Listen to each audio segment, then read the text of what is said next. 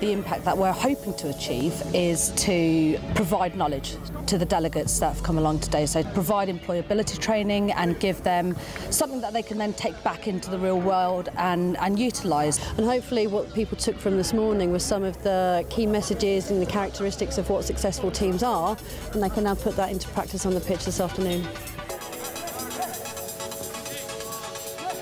For these people, it's and it's crucial for their for their welfare benefits. So if it benefits people with severe mental health, it's going to benefit anyone. We have an employment program that they've lots of them have gone on to and now are working and haven't worked for some of them over a decade. I've been here for about two and a half years now and the numbers have sort of just tripled since then. It just shows the popularity and um, the word spread around the whole community. We, we sit at a desk for most of the day and we forget what's going on in the, in the community around us.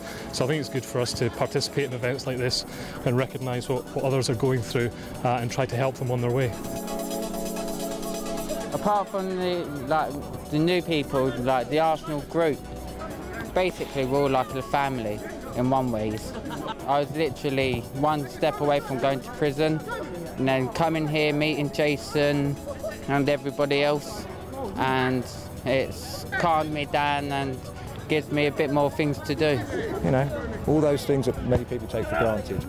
It's just, uh, it's just a wonderful thing to see. You know, you come to an event like this and you think, well, it's all about what I'm going to do for them and uh, elevate them to this and the other. But uh, in truth, it helps me as well. It puts my job in perspective.